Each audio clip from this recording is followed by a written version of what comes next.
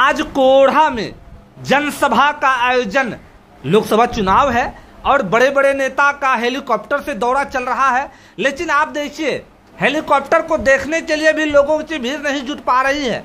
आप वीडियो के माध्यम से देख सकते हैं, ये जो तस्वीर आपको दिख रही है, यहाँ पे चुनावी सभा, संतोष कुशवाहा के पक्ष में लोगों से वोट मांगने की अपील की गई है।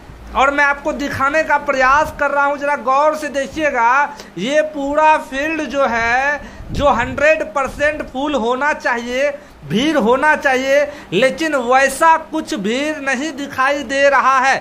पूर्णिया हॉट सीट बन चुका है, पूर्णिया का कुछ अलग माहौल है।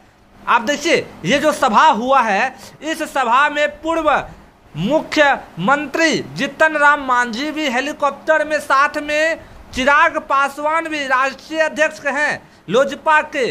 वह भी उसी हेलीकॉप्टर में थे और उसके साथ में उपेंद्र कुशवाहा जी भी मौजूद थे। यह जनसभा जो है, इसमें लिखा गया था, विशाल जनसभा। उसका बैनर भी लगा हुआ था। लेकिन आप देखिए, क्या यह विशाल जनसभा है क्या? और यह भीड़ जुट पा रहा है क्या?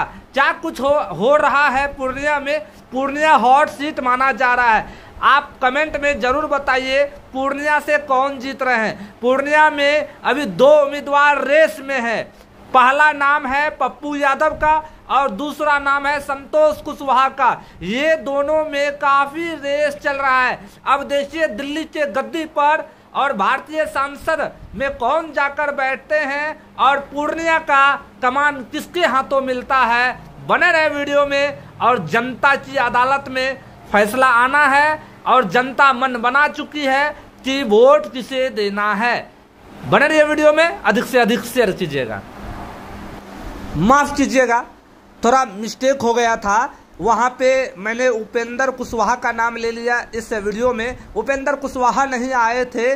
देखिए, तीन नेता हेलीकॉप्टर से आए हैं। कोढ़ा दुर्गा मंदिर परिसर में जनसभा को संबोधित करने के लिए पूर्व मुख्यमंत्री जीतन राम मांझी, उमेश कुशवाहा, जो जदयू के हैं और राष्ट्रीय अध्यक्ष चिराग पासवान लोजपा के हैं, जिसे जैसा लोजपा में कहा जा रहा था, रामविलास कोढ़ा से नींव रखे थे। लेकिन दरअसल इन्हें भी देखने के लिए जनता की कोई भीड़ नहीं जुटी है। मैं वीडियो के माध्यम से आपको दिखा रहा हूँ यह जो कोढ़ा दुर्गा मंदिर के परिसर में जो मैदान को विशाल जनसभा जैसा होना था, लेकिन मैदान खाली खाली नज़र आ रहा है। आपको मैं वीडियो के माध्यम से दिखा रहा हूँ। और कोढ़ा जैसे पूर्णिया की जनता ने मन बना चुका है। और दिल्ली के गद्दी पे कौन बैठेगा, आप कमेंट करके ज़रूर बताइएगा। बने रहे वीडियो में, आगे देखें क्या कुछ कह रहे हैं पूर्व मुख्यमंत्री जीतन राम मांझी। मेरे भैया, हम ये करना चाहते हैं कि हम लोग एनडीए के लोग एक साथ होकर लड़ रहे हैं।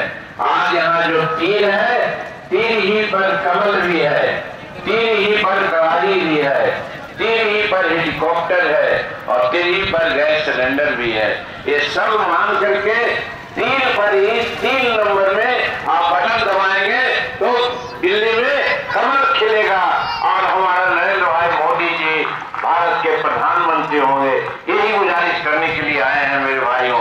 इसलिए खास करके दलित भाइयों से और पीछे का, और एक बात और, जो उन्होंने कही थी, उस पर हम लोग का नाज है। जब पुतिन ने पूछा, कैसे समझे कि आपके सारे बच्चे यहाँ हैं क्या बात हम कर सकते हैं उनके बारे में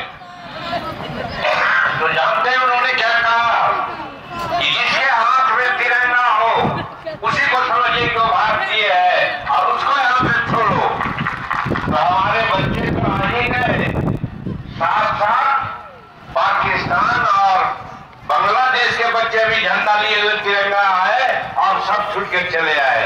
ये हमारा नेतृत्व है, ये हमारे भारत का प्रधानमंत्री अमीर खान ने एक पुरस्कार घोषित किया है।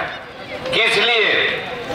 कि भारत के प्रधानमंत्री विज्ञान में हिंदुस्तान को वहाँ पहुँचा दिया जहाँ संसार के कोई लोग नहीं पहुँचा और वो था चंद्रयान थ्री जो चंद्रमा के दक्षिणी छोर पर पहुँचने वाला संसार का पहला यान था दिया इससे हमारा मस्तक कहाँ ऊँचा हो जाता है आप लोग समझ सकते हो। और साथ साथ जी ट्वेंटी की बैठक हुई।